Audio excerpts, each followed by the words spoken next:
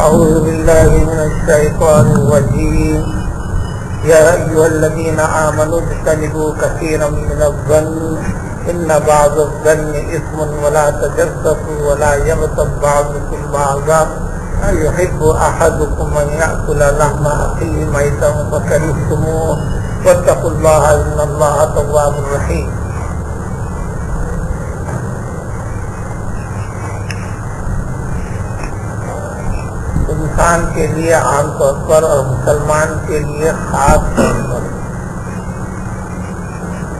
अपनी आपसी ज़िंदगी के इसलाह से मुतल कई उसूल और कवायद को इस पूरे गुजरात के अंदर बयान किया गया।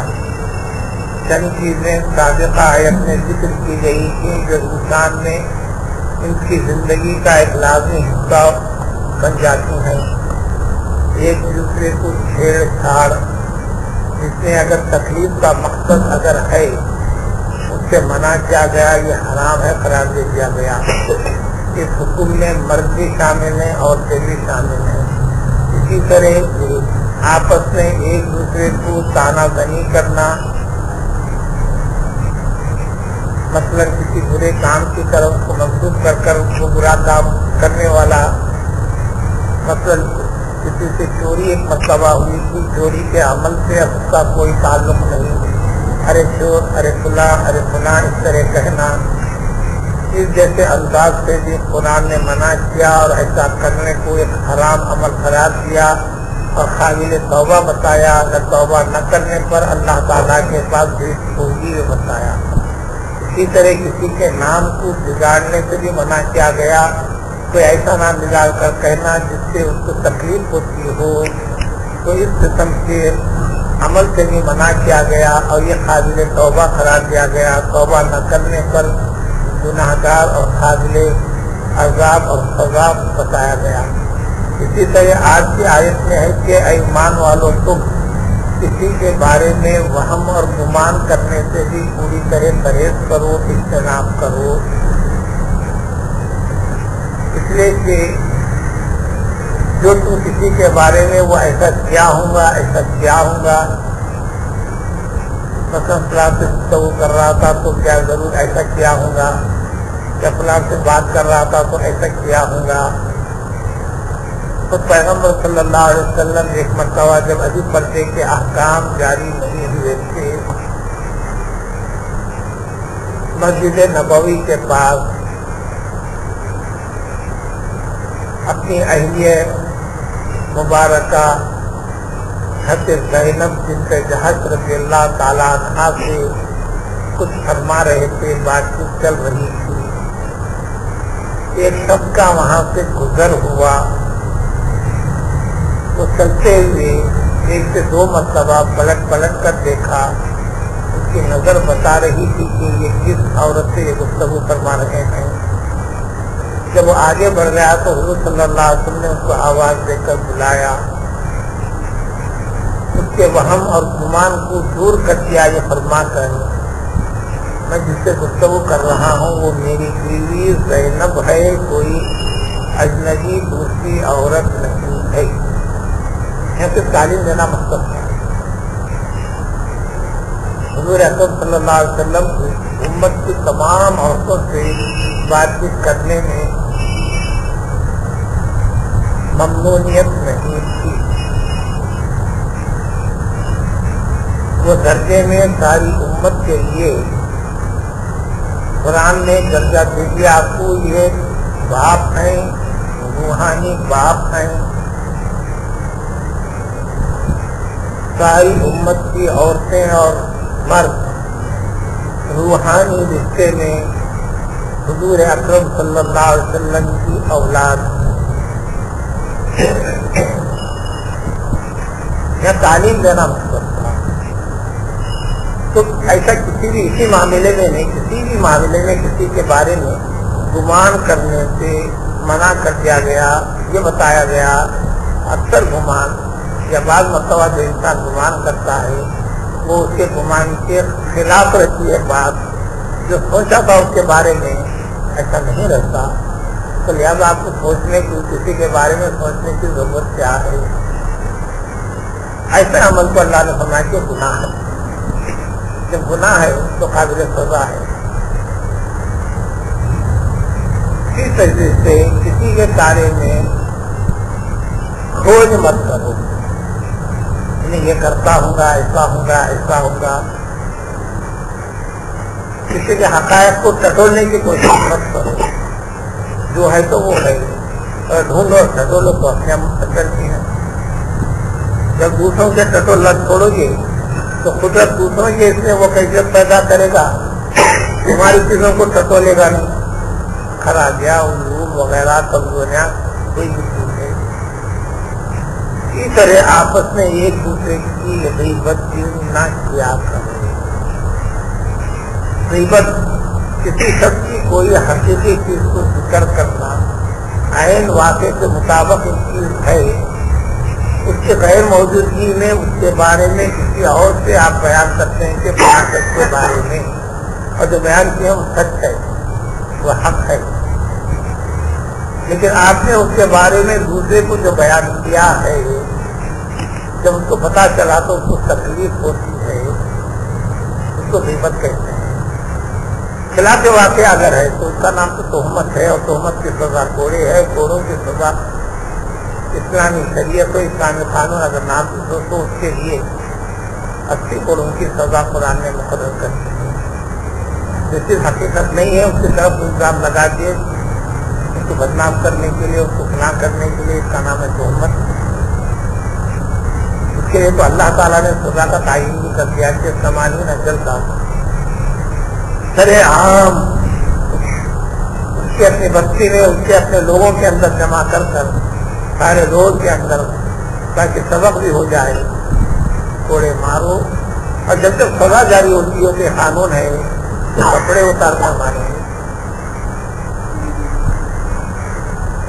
समझी के ऊपर कोड़े करेंगे जब कपड़े उतारेंगे तो पूरे कपड़े उतारेंगे। सिर्फ़ औरत के लिए उसकी शर्मगाह को कपड़ा ढका हुआ रहेगा जब उसको कोड़े मारने की बात नहीं तो मत के लिए वो तुम्हें पूरे कपड़े उतार कर मार वो तो बहुमत है, लेकिन यहाँ का भी है। तो एक दूसरे की गीबत की मत करो। यानी तुम्हारा ये अमल एक दूसरे सबको तकलीफ़ का है।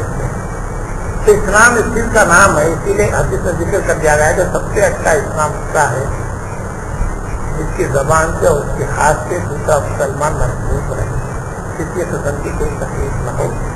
इन जैसे मकूम में हजूर सल्लल्लाहु अलैहि वसल्लम जब कलाम पाक की वजाहत करने के लिए आपको रसूल बना कर भेजा अल्लाह ताला ने, कलाम नाजिल फरमाया, उसके हकीकत और तस्वीर आप बयान करते कुरान नमाज़ का हुक्म किया, औकात का तयन किया।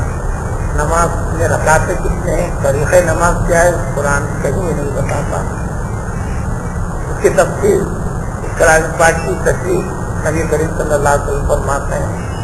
और उसकी सारी मुसलियत देते हैं हज़रत जबरील और दरमियान में कोई वास्ता और दरिया नहीं। रोज़े का हुक्म दिया रोज़े की पूरी तफसीर तरीके हजूर सल्लल्लाहु अलैहि वसल्लम की ने सिर्फ़ जक़ात दो जक़ात दो जक़ात दो सबका दो, खैरात दो ये हुक्म दिया जक़ात कैसे होती है? किस तरीके से निकालते हैं? उसका हिसाब क्या है? कहीं तो कुरान में तफसील नहीं। हजूर अकम सल्लल्लाहु ने तफसील फसला दी कि देखो, माल जमा होता हो, साल के गुजरने पर उसमें इस तरीके से जानवर है तो ये, माल है तो ये, और अगर खेती बाड़ी है तो ये बागात अगर है तो ये, इस किस्म की तफसील तो कुरान की हर चीज़ की तफसील के पैगंबर सल्लल्लाहु अलैहि वसल्लम पेश करते हैं। और उस तफसील के बारे में कुरान ने कह दिया, यही मतलब है दीन इस्लाम का, वलकुम की रसूल हसना। यही ज़िंदगी का सही नमूना है, जिसका नाम दीन इस्लाम है, जो तुम्हारे रब को पसंद है। इन सारे तरीकों में बुनियादी चीज़ जो रवा दवा है, हर एक के अंदर ताकत हो, आप किसी के लिए बायस तकलीफ़ न बने गरीबत में तकलीफ़ होती है, ये ज़ाहिर तौर पर बाकी तौर पर उसके अमल को बहुत बड़ा करा दिया अल्लाह ताला ने। देखने को तो तुमने गरीबत की, लेकिन हकीकत में तुमने अपने हकीकी भाई को मरने के बाद अपने हकीकी भाई का गोश अपने दांतों से चाप चाप कर अल्लाह खाया है। ये शायद आखिरत में सजा उसकी जो होती जिसके फ़सल की सजा होती है आखिरत में। रमज़ान के महीने में रोज़गार एक ऐसा आया कि रोजा उसको संभालना दुश्वार हो गया? अगर अब पानी के न पीने पर जान के बाकी रहने और न रहने का खदशा तक उसको लाहक हुआ? सारे सलाम मौजूद थे, यानी शरीयत बनाकर और वजात कर बताने वाली बात पैगंबर सल्लल्लाहु की जब देख हुए तो आपने फरमाया, देखा, देख के फरमाया, दांतों में खिलाल कर।